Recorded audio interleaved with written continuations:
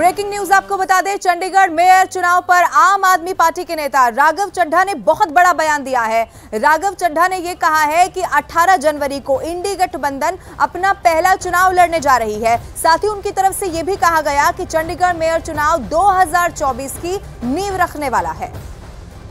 हमारा मानना है कि आने वाले 2024 के लोकसभा चुनाव की नींव रखेगा। इंडिया गठबंधन, बतौर गठबंधन, पहली बार चुनाव के रण के मैदान में भाजपा का सामना करने जाना।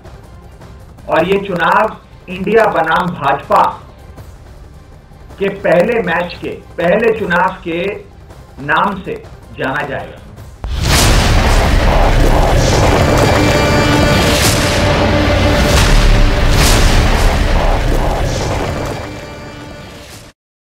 के तहत सही बताया अमेरिकी राजदूत